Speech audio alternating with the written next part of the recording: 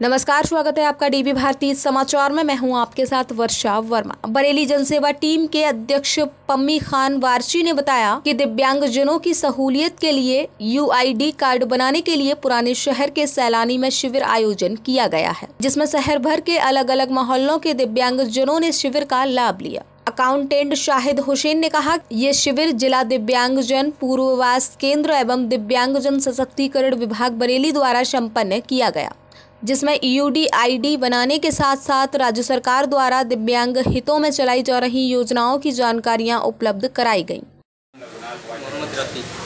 आज आप यहाँ कैंप पे आए किस तरीके की सुविधाएँ आपको मंजूर हैं ये था कि मेरा आज तक कोई कुछ भी नहीं था जहाँ भी जाता था मुझे टहला देते थे कि मतलब कल आना परसों आना तो इस चक्कर में फिर मुझे गुस्सा आता था कहीं जाने आना मैंने बंद कर दिया था। ना आज तक कोई पेंशन है, कुछ भी नहीं है। खाली रोड बेस का एक बन गया था, वो भी डिस्ट्रिक्ट में जाने के बाद में पास। बस वो ही लाभ है, बाकी उसके बाद में आज तक कुछ भी नहीं है। लेकिन यहाँ पर आया तो मेरा फॉर्म भरा गया है। बाकी अब देखते हैं आगे अल्लाह। मालिक है, जो भी जैसा जो भी होगा।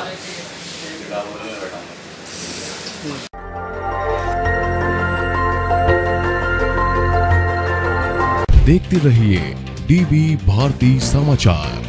नज़र हर खबर पर।